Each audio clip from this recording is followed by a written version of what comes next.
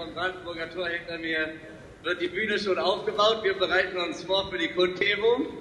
Wir freuen uns sehr darauf, euch äh, hier in ein paar Stunden begrüßen zu können. Hier ist noch genug Platz für euch. Wir erwarten jeden von euch.